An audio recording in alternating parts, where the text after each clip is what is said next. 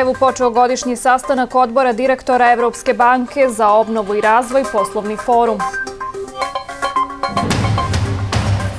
Evropska komisija planira do kraja maja dati mišljenje o odgovorima BH na upitnik. ArcelorMittal Prijedor smanjuje proizvodnju i broj zaposlenih da bi produžili životni vijek rudnika u Omarskoj. Velika Britanija moraće učestvovati na izborima za Evropski parlament, poručio zamjenik britanske premijerke.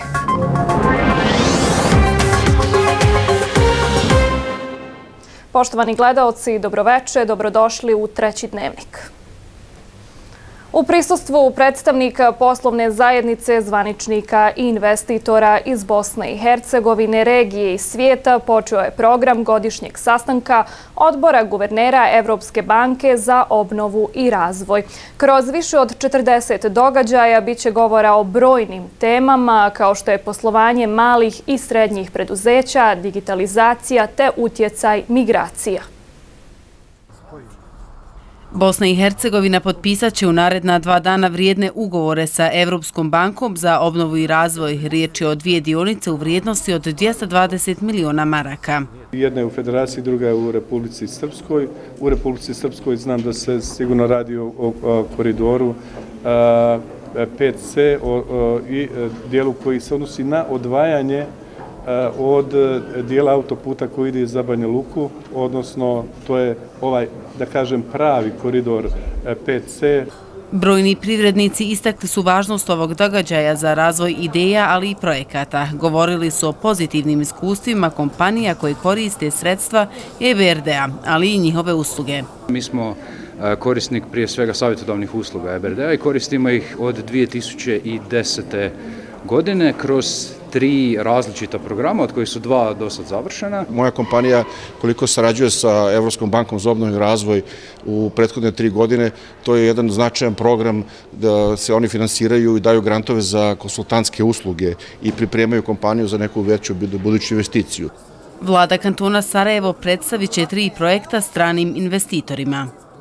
Radi se o dva projekta, da kažemo. Jedan se tiče cestovne infrastrukture, drugi se tiče javnog prevoza javni prevoz, svi znamo u kakvo nam je stanje u kantonu Sarajevo i kroz dogovor i aranžman koji će imati sa EBRD-om oko kreditiranja, mi planiramo ovoj godini pokrenuti e, rekonstrukciju kompletne pruge od Marin dvora do Iliđe, to je 26 km, znači u oba dva smjera, i planiramo pokrenuti pominu novih, prije svega, trolejbusa, i tramvaja. Mislim da je ovo sjajna prilika kao što možemo vidjeti hiljade ljudi ovdje. Prošle sedmice imali smo 2215 registrovanih. Mnogi novinari, mnoge biznis kompanije su ovdje, mnogi ministri i delegacije. Mislim da je ovo sjajna prilika za Bosnu da pokaže novu dobru priču, a ne samo loše priče. Do četvrtka u našoj zemlji boravit će 3000 predstavnika Međunarodne poslovne zajednice investitora, visokih zvaničnika, guvernera te predstavnika organizacija civilnog društva. Količina stranih investicija u Bosni i Hercegovini nije zanemariva uprko svakodnevnim izazovima s kojima se suočava naša zemlja, a kao veliki uspjeh jeste i to što ni jedan ozbiljan strani investitor nije izgubio svoj kapital u Bosni i Hercegovini. O tome kao i o ekonomskim izazovima u našem drugom dnevniku govorio je Branimir Mujđa, predsjednik Vijeća stranih investitora Bosne i Hercegovine. E, mi imamo i tekako poznate izazove. To su prije svega politički ambijent, politička nepredvidivost, isto tako postoji nepredvidivost u kretanju e, poreza. E, smatram da bi trebali imati puno poticajni porezni okvir koji bi bio predvidiv isto tako za strane i domaće ulagače. E, trebamo imati puno veću, e, puno bolju vladavinu prava i trebamo otkloniti administrativne barijere koje su prisutne u Bosni i Hercegovini, jer evo i danas nam treba otprilike 180 dana da dobijemo neku dozvolu, da li za pokretanje firme ili za ishodovanje određene dozvole. O značaju održavanja investicione konferencije BRD u Sarajevu, pomoći Evropske banke za obnovu i razvoj malim, ali i velikim kompanijama, u nastavku dnevnika govori Ivan Franičević iz Hrvatske. Gospodine Franičeviću, prisustujete današnjoj konferenciji BRD-a. Koliki je značaj zapravo ove konferencije i za regiju i za Bosnu i Hercegovinu? Ja mislim da postoji i određen e, e, i stvarni značaj i jedan simbolički značaj, s obzirom da je EBRD e, odobrao ove godine Bosne i Hercegovine, odnosno Sarajevo, za svoju godišnju skupštinu među svim zemljama u kojima EBRD radi. Kad znamo da je iduća 2020. vrlo vjerojatno će biti u Londonu, to daje još jedan veći značaj gradu Sarajevu. Onaj pravi uticaj EBRD-a nije vezan toliko uz ovu konferenciju, nego sve ono što EBRD radi u, eh, i u našoj regiji i u ostalim zemljama u kojima nastupa, to je eh, davanje pomoći i savjeta i lokalnoj vlasti i malim i srednjim poduzećima i velikim kompanijama i financiranjem, dakle, koje je najveći dio njihovog, njihovog mandata. Koliko zapravo vama pomaže EBRD? Da li vam je pomagala na bilo koji način, možda savjetodavni ili neki drugi? Mi radimo sa EBRD-om od 2010. godine. Dosad smo prošli tri različita programa u kojima smo većinom dobili e, financiranje i subvencioniranje savjetodavnih usluga i naravno savjetodavne usluge EBRD-a. Do sad nismo koristili financijske instrumente, odnosno financiranje, međutim nikad nije isključena i ta mogućnost. Onaj značaj koji je donio za nas je da je EBRD e, donio stručnjake u područjima koji su vrlo specifično i usko vezano uz ono gdje je nama bila potrebna vanjska stručna pomoć, gdje EBRD ima pristup jednoj ogromnoj bazi konsultanata i eksperata iz područja koje je inače vrlo teško naći specifično i usko vezano uz ono što nama treba. Hvala vam na ovom razgovoru. Nema problema, hvala vam. O saradnji Bosne i Hercegovine i EBRD u Sarajevu su predsjedavajući vijeća ministara Bosne i Hercegovine Denis Zvizdić i ministri financija i trezora i vanjske trgovine i ekonomskih odnosa Vjekoslav Bevanda i Mirko Šarović razgovarali sa predsjednikom te financijske institucije Sumom Čakrabartijem.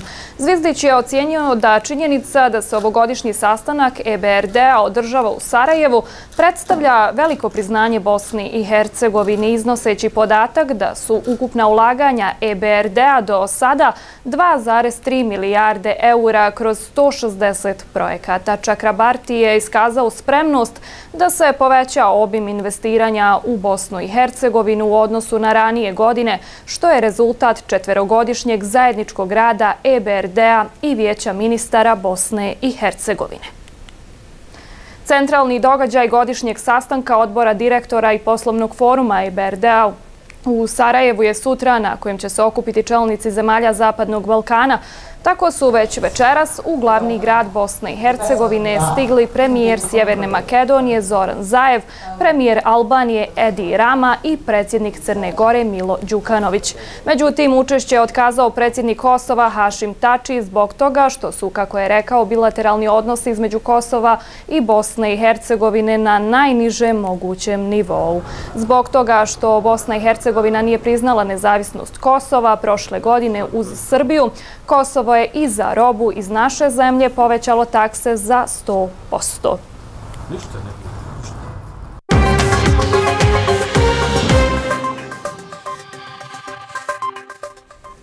Mišljenje o odgovorima Bosne i Hercegovine na upitnik Evropska komisija ima namjeru dati do kraja maja, rekao je članovima predsjedništva Bosne i Hercegovine Šefiku Džaferoviću i Željku Komšiću, generalni direktor direkcije Evropske komisije za susjedstvo i pregovore o proširenju Kristijan Danielson. Dodao je i da će ono sadržavati isključivo standarde koji vrijede u zemljama punopravnim članicama Unije. Članovi predsjedništva su posjetili Danielsona na opredjeljenje predsjedništva za postizanjem punopravnog članstva naše zemlje u Evropskoj uniji. Predsjednik vlade Republike Srpske Radovan Višković izjavio je da ne očekuje ništa od sutrašnjeg sastanka Upravnog odbora Uprave za indirektno porezivanje Bosne i Hercegovine, te da je spremna, ali još nije pokrenuta tužba protiv Uprave za indirektno porezivanje i Federacije BiH zbog neprimjenjivanja novih koeficijenata za raspodjelu prihoda od indirektnih poreza. Posljednji put su ti koeficijenti usaglašeni u maju 2017. godine i od tada su uvijek bili na štetu Republike Srpske, rekao je Višković i dodao da je razgovarao sa federalnim premijerom Fadilom Novalićem koji mu je rekao da se o tom pitanju može dogovarati kada bude izabrana nova federalna vlada. ArcelorMittal Prijedor smanjuje proizvodnju i broj zaposlenih kako bi produžili životni vijek rudnika u Omarskoj, saopšteno je iz ove kompanije. Bez preduzimanja ovih mjera rudnik će se morati zatvoriti 2025. godine. Duboko žalimo što će ove suštinske mjere neizbježno dovesti do gubitka 300 zaposlenih u ArcelorMittalu Prijedor, Navode i dodaju da će kompanija blisko sarađivati s predstavnicima sindikata i pružiti svu moguću pomoć ugroženim zaposlenicima. Očekuje se da će novi plan biti u primjeni od 1. septembra 2019. godine. Do kraja dnevnika donosimo. Kako se Skupština Zapadno-Hercegovačkog kantona izjasnila o novom zakonu o pravima boraca? Šta sve očekuje posjetioce sajma turizma List 2019 u Lukavcu?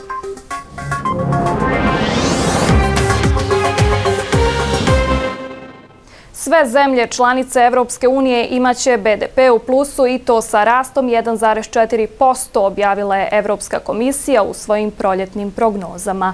U 2020. rast bi se trebao ubrzati na 1,6% u Evropskoj uniji i 1,5% u eurozoni.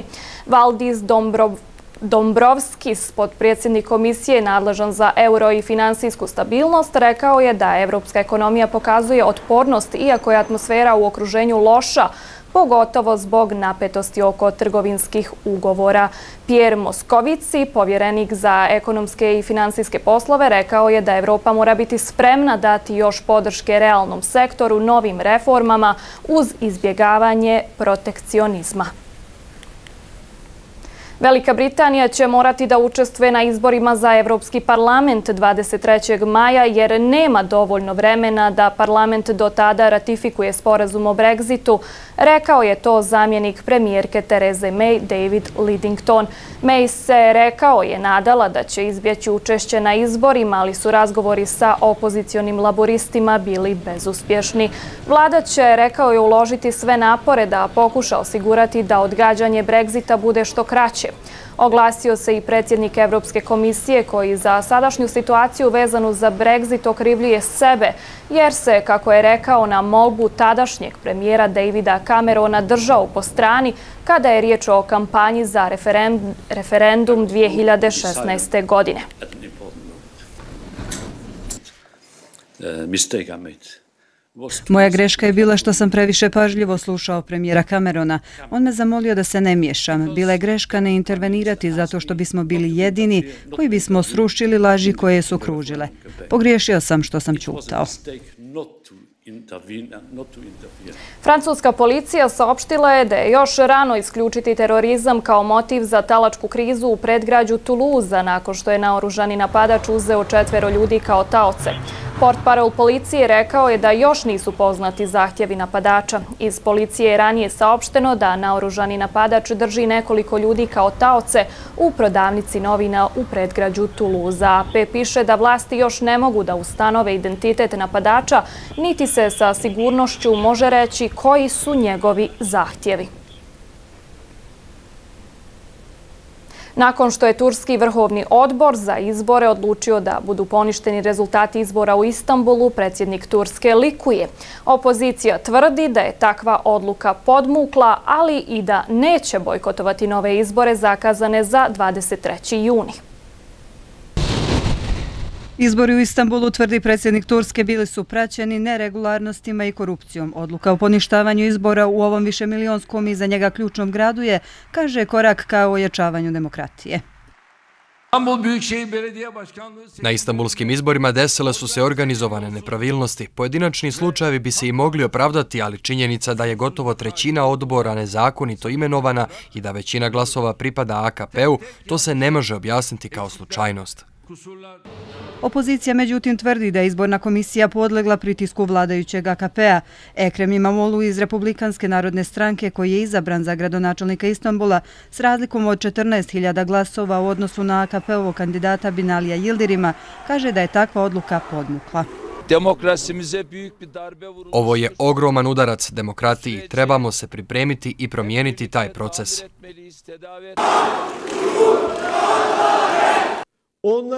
Pobjedili smo u gradovima u kojima oni nisu očekivali da ćemo pobjediti. Sve su drugo mogli prihvatiti, ali ne i Istanbul, pa su počeli kovati zavjeru.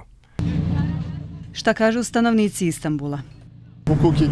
Ako postoji bilo kakva sumnja, treba je otkloniti. Ja sam na strani ponovnih izbora. AKP je učinkovitiji.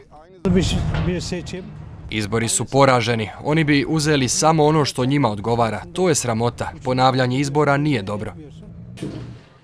Sve to tvrde upućeni negativno utiče na tursku liru i izaziva valutni šok. Turska lira je prošlog mjeseca izgubila 10% vrijednosti. To negativno utiče na inflaciju. S druge strane, pitanje je kako će reagovati Yildirimovi birači nakon ovog skandala. Reagirao je i Evropski parlament. Odluka o ponavljanju izbora, kažu iz ovog tijela, ugrožava kredibilitet demokratije u Turskoj. Lokalni izbori u toj zemlji održani su 31. marta. Mnogi su ih vidjeli kao test politike predsjednika Ređepa Tajpa Erdoana. Sastanak Arktičkog vijeća koji je održan u Finskoj nije okončan zajedničkom deklaracijom zbog odbijanja Sjedinjenih država da se govori o klimatskim promjenama. Ovo je prvi put da Arktičko vijeće koje od 1996. godine održava ministarske sastanke svake dvije godine nije uspjelo donijeti zajedničku deklaraciju. Američka vlada je danas dala jasno do znanja da neće trpiti agresivne poteze Rusije i Kine u regionu Arktika, koji se s rastom temperatura i topljenjem leda sve više otvara za razvoj i trgovinu. Državni sekretar Mike Pompeo je rekao da će se SAD nadmetati za uticaj na Arktiku. Ovaj region je postao arena globalnih sila i nadmetanja i osam arktičkih država moraju da se prilagode toj novoj budućnosti.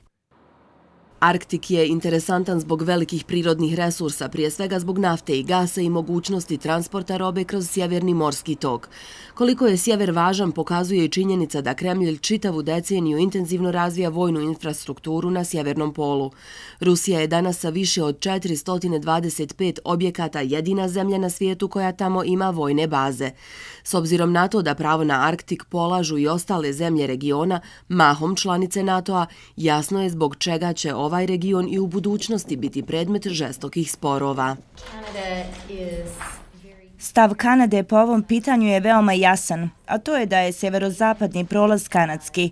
To potvrđuju i historijske i geografske činjenice. Mi imamo samo jednog susjeda s kojim imamo veoma dobru saradnju.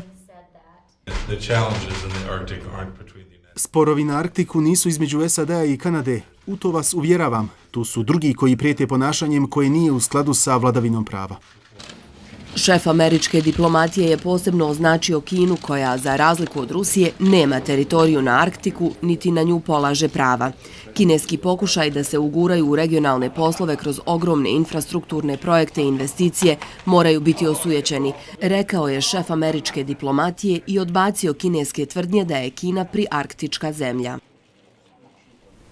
Upravo je stigla informacija da je naoružani tinejdžer oslobodio sve taoce koje je držao u prodavnici novina u Blanjaku u predgrađu Tuluza, potvrdile su gradske vlasti. Iz policije ranije saopšteno da je naoružani napadač uzeo četvero ljudi kao taoce u radnji blizu aerodroma u Tuluzu.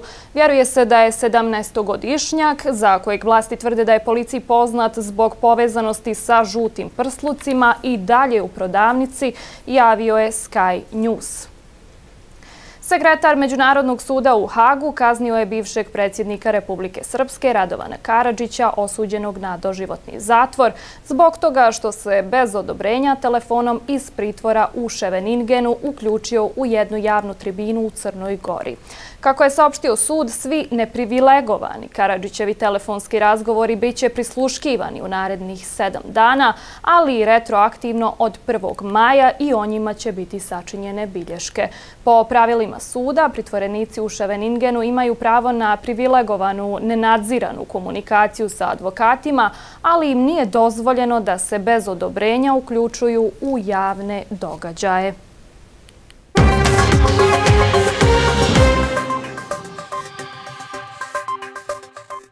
Zastupnici Skupštine Zapadnohercegovačkog kantona dijelimično su prihvatili nacrt zakona o pravima demobilisanih boraca i njihovih porodica, a na prijedlog ministra za boračka pitanja Federacije Salke Bukvarevića. Ispred Skupštine su tim povodom mirno protestovali predstavnici Udruženja demobilisanih i zaboravljenih boraca, jer, kako tvrde, ovaj predloženi nacrt zakona odbacuje sve stavke koje oni traže mi tražimo braniteljski dodatak kao naknadu za učešće u domovinskom ratu. Za sve tjelesna, duševna oštećenja koja smo proživjeli tu. Tražimo registar, znači izradu registra i javnu objavu tog registra. Ne ovoga registra kojega Salko daje. Ti 620 tisuća sada i već ima. Brzo će i biti 650. Ovako kako oni rade. I tražimo prestanak financiranja s nivoa federacije, svi udruženja i udruga. U jednom dijelu mi prihvaćamo zakon, ali imamo devet amandmana na zakon obi, koji, evo, krši Evropsku konvenciju o ljudskim pravima, krši naravno Evropsku socijalnu povelju, krši zakon o zaštiti o zdravstvenom osiguranju, krši zakon o zaštiti osobnih podataka i naravno u određenim člancima krši ustav Županije Zapadno-Hercegovačke i krši ustav Federacije Bosne i Hercegovine. Skupština Zeničko-Dobojskog kantona jednoglasno je usvojila informaciju o stanju sigurnosti na području kantona u protekloj godini. U okviru diskusije bilo je govora o mogućnostima formiranja rezervnog sastava policije.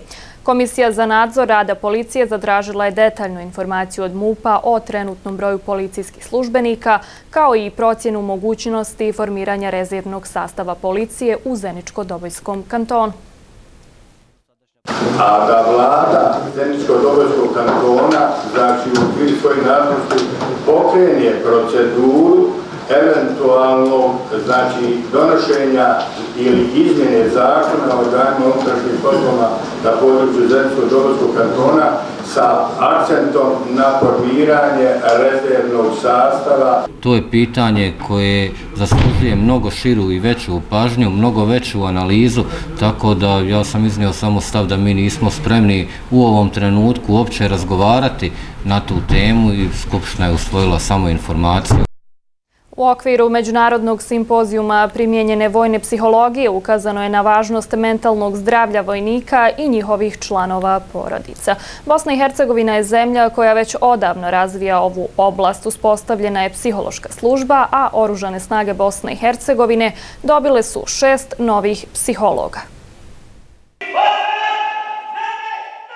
Važno je razumjeti fizičko, ali i psihološko stanje vojnika i njihovih članova porodice, držati budno oko nad njihovim potrebama ne samo tokom vježbe, već i tokom operacija i misija, poruka je vojnih psihologa, povodom 54. simpozijuma iz ove oblasti. Predstavljeni su naučni i istraživački radovi stručnjaka iz regije i svijeta. Od ove konferencije očekujemo da sa našim e, partnerima razmijenimo iskustva, da naši psiholozi čuju najvažnija postignuća u vojnoj psihologiji, ali isto tako i naši međunarodni partneri da čuju iskustva pripadnika i pripadnica oružanih snaga Bosne i Hercegovine. Uspostava psihološke službe i zaštita mentalnog zdravlja vojnika i njihovih porodica projekat je na kojem su sarađivala entitetska ministarstva sa oružanim snagama BiH uz podršku Međunarodne organizacije za migracije.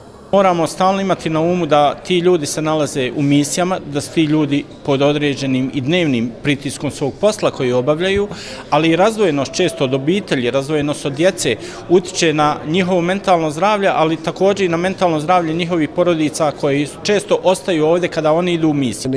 To je jedan od sjajnih primjera, jer na kraju ono što i Ministarstvo odbrane i oružane snage rade, zaista da su oni zaista ozbiljno shvatili pitanje mentalnog zdravlja vojnika i njihovih njihovih porodica, na čemu i te kako temeljito rade. I sada Bosna i Hercegovina služi kao primjer zemljavnom regionu. Oružane snage BiH već godinama provode programske inicijative i sistem brige o mentalnom zdravlju, kao i program pripreme i praćenja vojnika u mirovne misije. U Banja Luci je održan završni skup zajedničke inicijative Evropske unije i Vijeća Evrope za poboljšanje položaja nacionalnih manjina u Bosni i Hercegovini. Projekat je dio trogodišnjeg zajedničkog programa Horizontal Facility za Zapadni Balkan i Tursku i realizovan je sa ciljem da doprinese jačanju zaštite pripadnika nacionalnih manjina u skladu sa evropskim standardima. Jačanje zaštite nacionalnih manjina u Bosni i Hercegovini projekat je koji je uticao da vidljivost o pravima i položaju nacionalnih manjina bude znatno veća nego do sada, konstatovano je na završnom skupu u Banja Luci. Učestvovalo je pet opština, Prijedor, Prnjavor, Tuzla, Sarajevo i Brčko, koje su na različite načine prethodnu godinu radili na unapređenju položaja svih 17 nacionalnih manjina. Projekat je kod nas išao u četiri faze. E, takmičenje osnovnih škola, poznavanje nacionalnih manjina, zatim opštinski sajt je preveden na jezike nacionalne manjina, urađen je jedan bilten e, koji je predstavio nacionalne manjine, a također i Kancelarija za nacionalne manjine u sklopu ovog projekta je oprimljena. Izrađena je publikacija o nacionalnim manjinama, znači o četiri nacionalne manjine grada Prijedora. E, također smo e, izradili dokumentarni film Projekat je istaknuto je dao novu dimenziju pravima i mogućnostima zaštite pripadnika nacionalnih manjina i to kroz formiranje koordinacione grupe sačinjene od pripadnika različitih vijeća nacionalnih manjina. To su zvančna tijela koja predstavljaju e, nacionalne manjine u Bosni i Hercegovini, tako da je to bilo prvi put da, da, takva, e, da, da članovi tih vijeća zajednički rade, da se upoznaju faktički, e, da realizuju zajedničke neke, ajmo reći, aktivnosti. Šef Ureda Vijeća Evrope u našoj zemlji najavio je da će se u narednom periodu realizovati i drugi dio zajedničkog programa Horizontal Facilities. Nakon maja 2019. Nakon maja 2019. imamo novu fazu Horizontal Facilitiesa. Zahvaljujemo se Evropskoj uniji na podršci. U naredne tri godine bit će kontinuiranih projekata, bit će širi okvir saradnje i na antidiskriminaciji ne samo nacionalnih manjina, već i ostalih. Vrijednost projekta realizovanog u prethodnih godinu dana je 418.000 eura i zvanično se završava 24. maja. Međunarodni sajam turizma i ekologije List 2019. bit će održan u Lukavcu sa ciljem da se promovišu prirodne i druge vrijednosti izvan svijeta industrije i svakodnevnice koja nije uvijek naklonjena ljubiteljima rekreacije i boravka u prirodi. O tome je u našem regionalnom dnevniku govorio Azir Čačković, predsjednik organizacijonog odbora sajma. Evo šta su pripremili za posjetioce sajma.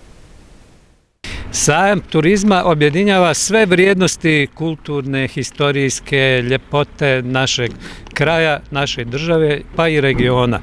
U tom smislu hrana je najzostavniji dio. 650 učesnika e, će širom Bosne i Hercegovine predstaviti autohtona jela i zdravu hranu sa područja e, sjeveroistočne Bosne. Pored toga, obezbijedili smo i manifestaciju smotru folklora kao tradiciju našeg i ljepote naroda, našeg podneblja. Edukativni dio je također vrlo važan. Ugostiteljske škole, šest ugostiteljskih škola iz regiona je prijavilo svoje učešće u regionalnom takmičenju. Oni dolaze kao neizostavni i kvalitetni dio dobrog turizma. Danas se navršava 18 godina od početka emitovanja programa BH Radija 1 radijskog javnog servisa na nivou Bosne i Hercegovine. Godinu dana kasnije, 7. maja 2002. godine, počelo je emitovanje programa BHT 1. BHRT je nasljednik nekadašnje televizije Sarajevo. Prvo je emitovan samo dnevnik, da bi s vremenom programska šema bila obogaćivana i drugim sadržajima.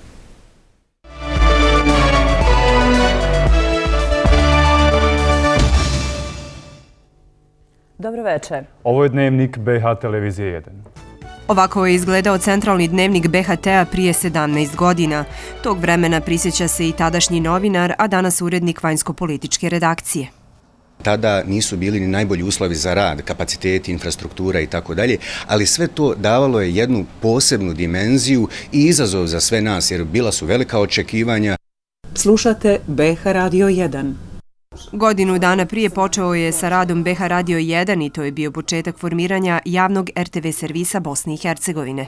Danas je mnogo lakše tehnički raditi, međutim, ako govorimo o novinarskim izazovima, o medijskim izazovima, o političkim izazovima, onda možemo reći da zapravo i danas se suočavamo sa istim problemima koje smo imali prije 20-30 godina. I tako smo stigli do kraja još jednog izdanja emisije Otvoreni studio. Ovo je bilo posebno izdanje na naš 18. rođendan. A na kvalitetan rad ukazuje i ovogodišnja nagrada Novinar godine koju je dobila upravo ova uposlenica BH Radija 1. Presretna sam, uzbuđena, još uvijek sređujem dojmove, ali to mi je i motivacija da ono što radim nastavim raditi i dalje i sa jačom žestinom. U proteklih 18 godina urađeni su brojni projekti. Zaposleni na BHRT-u trudili su se objektivno i pravovremeno informisati o svim zbivanjima u zemlji i svijetu. Helsinški parlament građana Banja Luka i mreža za izgradnju mira raspisuju konkurs za novinarsku nagradu Srđan Aleksić za profesionalno izvještavanje o marginalizovanim grupama za razvoj društveno odgovornog novinarstva, saopštila je mreža za izgradnju mira. Na konkursu mogu učestvovati organizacije civilnog društva iz Bosne i Hercegovine, koje do 31. oktobra trebaju poslati prijedloge emisija, medija ili novinara koji profesionalno i u kontinuitetu izvještavaju o marginalizovanim grupama u našem društvu. Toliko u dnevniku, želim vam ugodnu i laku noć.